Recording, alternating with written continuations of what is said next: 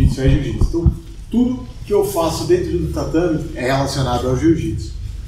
Se por um acaso vocês tiverem alguma dúvida e quiserem que eu é, encaminhe o, seminário para uma determinada parte, às vezes você, poxa, eu queria tanto que fosse mais passagem de guarda, não, eu queria tanto que fosse birimbolo, queria tanto que fosse, meu, pegada de costas. Vão me avisando, eu tenho uma sequência, né, eu já elaborei essa sequência, mas eu também consigo mudar as direções e, agradar todo mundo, para a gente não deixar nada de fora. Eu pensei em passar mais passagens de guardas, de guarda para vocês, já chegar no domínio de costas, trabalhar algumas finalizações, né? E trabalhar também alguns bloqueios da guarda.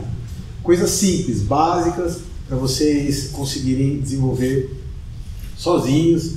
E quando vocês, ah, quando a gente acabar o seminário, segunda-feira, quando você chegar aqui no seu treino, você vai ter vontade de, de chamar o seu parceiro para aquela posiçãozinha lá, meu, nossa, gostei. Um dia o seminário inteiro, mas aquela posição eu gostei. Então a, a ideia é essa, que deixe pelo menos uma informação valiosa aí para vocês e vocês possam abraçar. Preferência tudo, mas se não for tudo, não tem problema. Beleza? Vamos começar fazendo que a gente sempre faz: fuga de quadril. Vem todo mundo pra cá pro canto, a gente vai começar fazendo fuga de quadril. Pra gente fazer a fuga de quadril, a gente já vai dar início do jeito que a gente se movimenta para receber as posições que eu vou ensinar para vocês. Fazer a fuga de quadril, eu quero que você faça aquela fuga cansada quadradinha, tá? Ó, primeira coisa, você já vai ficar com o pé fora do chão. E sempre com os cotovelos para dentro.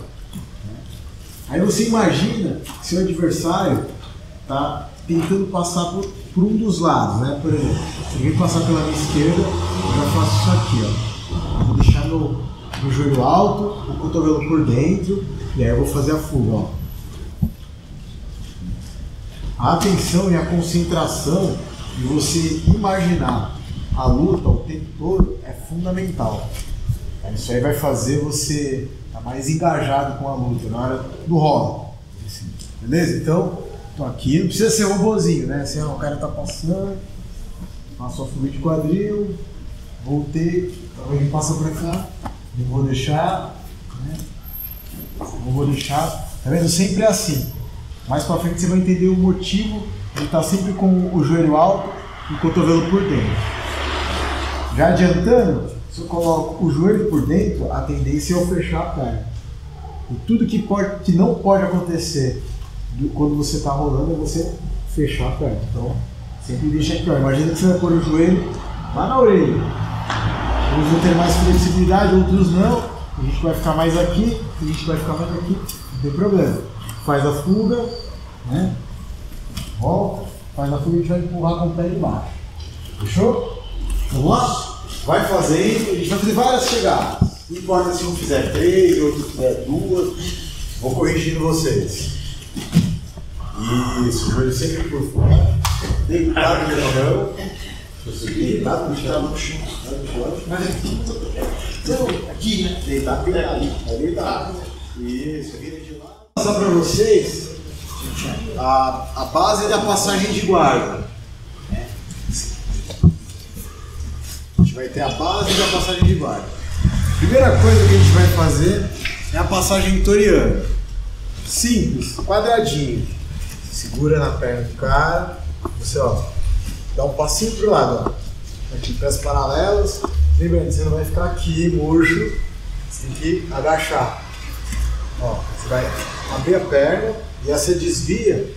Eu não vou colocar ela lá na barriga, eu vou colocar ela do lado do quadril dele, para travar o movimento total da fuga de quadril.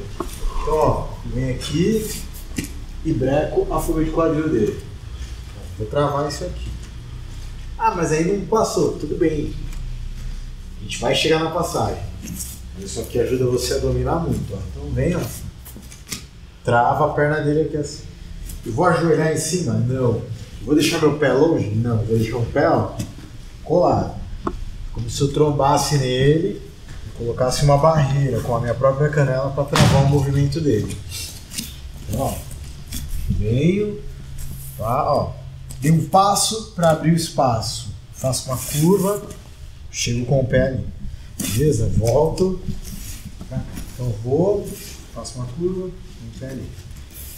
O tempo todo eu preciso fazer pegado? Não. Se mantém sua, mantenha a sua mão empurrando o joelho dele, você colar. Empurrando o joelho dele contra o peito. Beleza? Vamos lá? Só que aí a gente vai fazer por tempo. Eu ponho aqui, tio. Se você assistiu até aqui e gostou do vídeo, dá uma força pro canal, clica no joinha, dá um like aí, se inscreve no canal e até a próxima. Valeu, pessoal!